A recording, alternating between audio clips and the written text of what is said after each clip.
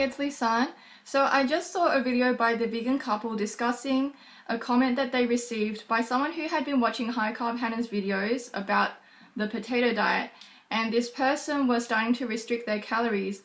and the vegan couple looked at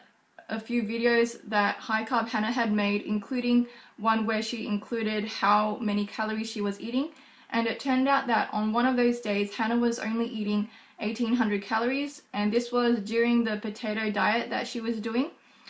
and they were discussing whether this person who had commented that they were starting to restrict their calories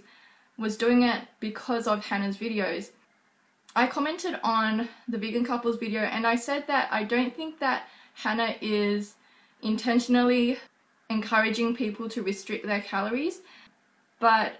she does probably have to be careful because there are people who are new to the vegan lifestyle and who might not know that much about nutrition or who just come from restrictive backgrounds and they will tend to restrict their calories just because it's what they've always done to lose weight and they'll do whatever it takes to lose weight. So when they see someone like Hannah who is losing quite a lot of weight through eating potatoes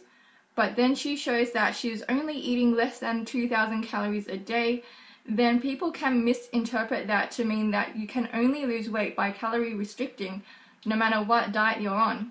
And I think the thing with a potato diet is that it can be easy to undereat because potatoes make you full so easily. So that would be my only reason to not go on a diet like that because you just feel like you might not be eating enough calories and then you could have some problems from that. But in general, a potato diet is very healthy and as long as you can eat enough calories to sustain your activity levels and to feel healthy and energized, then you should be fine. So I don't think that it's Hannah's fault necessarily. I just think that people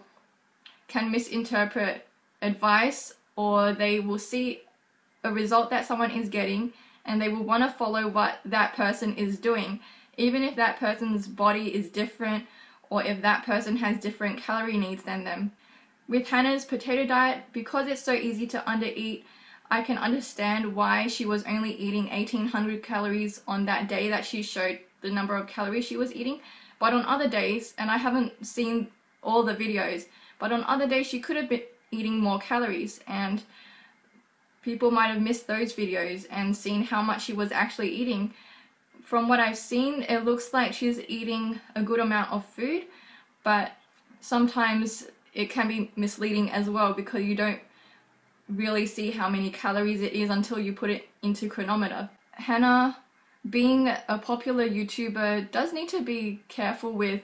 how she portrays her diet to other people and I'm not saying it is her fault and I'm not saying she's doing a bad job of promoting the vegan lifestyle to other people but just be aware that there are people who come from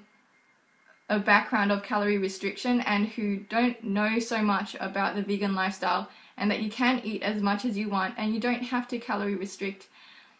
Because there's people like that watching you do have to always say eat enough calories and if you undereat on a certain day, maybe you should say something like, I ate less calories today because I got really full eating potatoes, or I was eating a lot of calories the day before, or I made up for it the next day. So I know it seems kind of unnecessary to have to go through all that detail, but it might help and it might reduce the number of people who could misinterpret the videos as saying that you need to starve yourself to lose weight. So those are my thoughts on Hannah's potato cleanse and people who start restricting their calories because of any videos that they've seen by her.